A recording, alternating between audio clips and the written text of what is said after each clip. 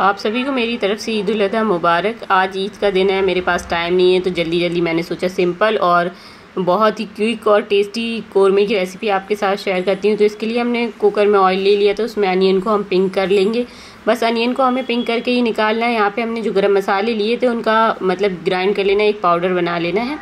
तो वो इसमें हम ऐड करेंगे तो यहाँ गोश्त ऐड कर देंगे। ये जो खड़े मसाले हमने बचाए थे, वो ऐड कर देंगे। और यहाँ पे हम ऐड कर देंगे ginger garlic paste coriander powder हल्दी पाउडर यहाँ पे रेड चिली पाउडर जो हमने मसाले पीसे थे, वो ऐड कर देंगे गरम मसाले, जो हमने आपको बताए थे, दही ऐड कर देंगे, इसमें थोड़ा सा पानी डाल के। इसको गोश्त को हम नाइन्टी फाइव परसेंट तक मतलब कुक कर लेंगे।